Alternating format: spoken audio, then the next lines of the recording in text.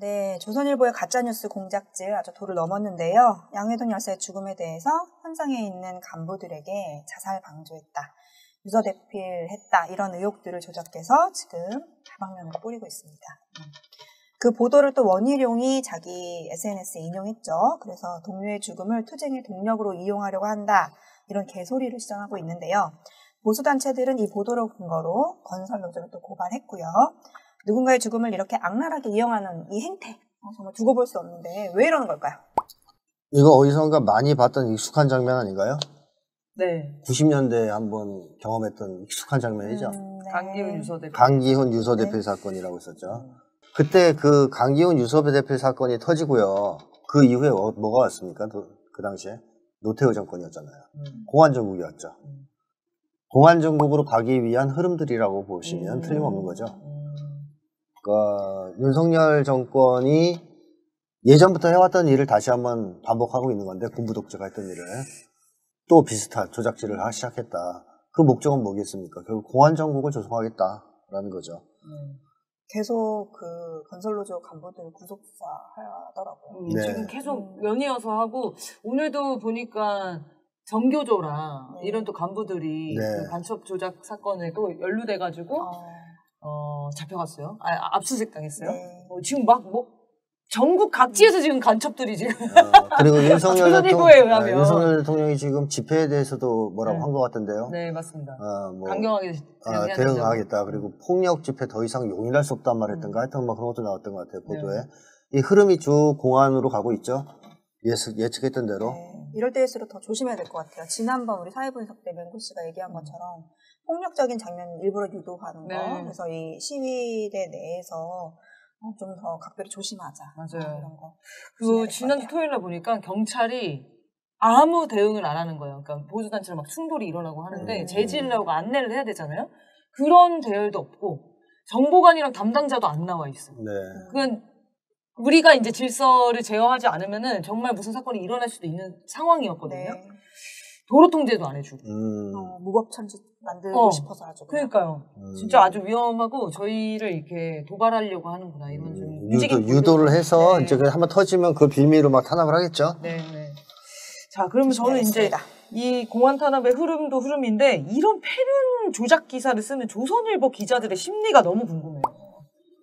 자기가 가짜인 걸 알고 쓰는 건가요? 아니면 진짜 믿고 쓰는 건가요?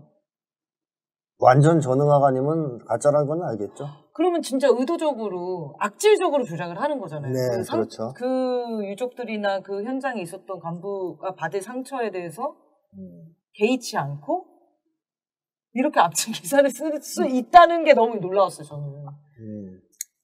어떤 상처를 받는지 그게 아예, 아예 이게 인지가 안 되는 건가요, 그러면? 알고도 그렇게 진짜 악마 같은 사람들이 공격하는 거예요? 잘 몰라서 하는 수도 있고, 뭐, 알고도 뭐 하는 사람도 있을 수 있고, 또는 알아도 그게 나와 무슨 상관이냐라고 생각하는 사람도 있겠죠. 그러니까 어차피 내, 내 식구 아닌데, 네. 어, 내 측근도 아닌데, 뭐 일반 국민들이야 죽든 말든 상관없다. 이런 입장을 가진 사람도 있겠죠. 어, 그저 진짜 클릭 수를 위해서 쓰는 사람들도 있고 그럴 것 같아요 정말. 네. 진짜 막 그런, 저기, 갓, 뭐지? 찌라시처럼 네. 유튜브에서 그냥, 선동적인 어, 막. 그런 얘기를 하는, 와, 근데 그게 기자인데. 이 기자가 네. 지금 다 생계형이잖아요. 네. 국회의원도 생계형이고, 기자도 생계형이고, 제가 계속 그 얘기를 하잖아요. 네. 생계형 기자들이에요. 돈을 벌기 위해서라면, 또 자기 성공과 출세를 위해서라면, 뭐라도 할 수 있는 기자들이죠. 그리고 또 하나는, 조선일보에 들어갔다라는 사실 자체는 이미 나쁜 놈이라는 걸 인증받는 거 아닙니까? 그쵸. 아니, 생계형으로 들어가는 친구들 있어요. 예. 세- 생각은 조선일보가 아닌데, 아, 그래요. 쓰라는 대로 쓰는 네. 사람. 어. 근데 밥 먹고 살려다 보니까 조선일보 월급도 많이 주니까 들어간단 말이에요. 네. 근데 들어가는 순간 이제 공인인증서가 나오는 거 아니에요. 기레기 나, 고집. 나, 나쁜. 나쁜 놈이다. 아, 조선일보 기자다. 어. 그렇게 되면 자기가 생각해도 좀 싫겠죠. 음. 당연히. 쉽게 얘기하면 자기 혐오가 생기겠죠. 네. 밥 먹고 살기 위해서 내가 이런 짓까지 하고 조선일보 와서 다니고, 어? 뭐 이제 이런 거. 지금 자기 학대, 자기 공격 심리가 생기거든요. 아, 그러다 보면 더더욱 이런 폐륜 행위를 해요. 망가지는 거죠. 어. 더 나빠지는. 네. 나는 아주 악당이 될 거야. 뭐 이런 거 있잖아요. 진짜. 선을 진- 넘고 어, 이제 진짜 나쁜 놈이 되겠어. 그래서 난 돈과 권력을 아주 받아가지고 그래도 어. 성공할 걸뭐 이런 생각. 성- 어차피 나- 나- 망가진 인생. 나 이런 놈이야. 뭐 그래 나 망가졌어. 어쩔 거야. 뭐 이제 그런 거 있잖아요. 갑자기 너무 비관적이야. 세상 전 세상이 너무 비관적이에요. 그런 사람들이 어떻게 존재할 수 있죠? 어떻게 자기가 사람이길 포기하는 건가요? 아니 수그 처음부터? 그러는 처음부터 그렇게 된 건 아닌데 악화되는 시- 거예요. 시간이 가면서 조금씩 조금씩 악화되다 보면 이렇게 된다는 것이고요. 음. 그러다 보면 자기 합리화도 해야 된단 말이에요. 최소한에 자기 보호를 위해서라도.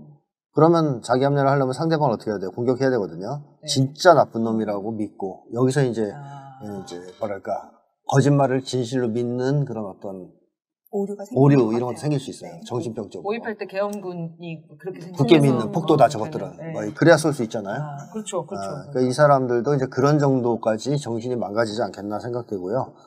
하여튼 나쁜 짓 하면 안 돼요. 나쁜 짓 해서 자기가 스스로를 미워하게 되고 혐오하게 되면 완전 정신이 파탄됩니다. 음. 근데 문제는 이렇게 기사를 써도 옛날보다는 영향력이 별로 없죠. 음. 많이 떨어졌어요. 물론 어느 정도는 영향력이 있지만 그래도 예전만큼은 안 된다. 그 이유는 국가폭력이나 공포 분위기가 결부돼야 이런 기사들이 효과가 있는데 음. 그게 시전이 안 되고 있기 때문에 아직까지 음. 또 국민들이 그걸 그렇게 무서워하지 않기 때문에 아직 국가폭력 같은 거를 네. 그렇기 때문에 효과는 예전만큼은 안 나온다. 그러니까 조선일보가 밤의 대통령으로 군림하면서 세상을 쥐락펴락했던 시절은 이미 지나갔다. 네. 이제 그렇게 봐야 되겠죠.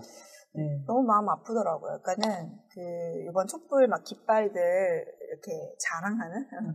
뭐 이런 사진 짤 같은 걸 봤는데 그 중에 하나가 이제 춘천 촛불행동 쪽에서 건 깃발이었어요. 그러니까 양해동 열사 유지 받들겠다 이런 내용이었는데 이 사람들에게 어- 어떤 진짜 말도 안 되는 상처를 줬을지 네, 너무. 마음이 아팠습니다. 아니, 이런 기사가 일반 국민들한테는 좀 음. 어떤 영향을 끼칠까요?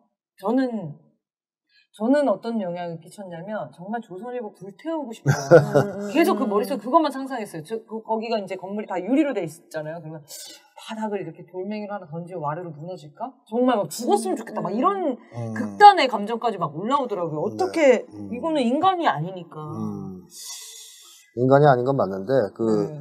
민주 시민들은 그런 반응일 거고 네.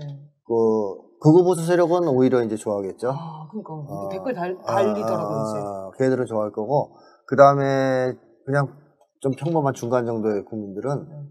휩쓸릴 위험은 있죠. 이 기사를 보면. 그럴 수도 있지 에, 않을까. 왜냐하면 이제 조선일보가 이렇게 거짓말을 치는 집단이라서 일단은 안 믿어야 된다 이런 인식이 아직 없기 때문에 네.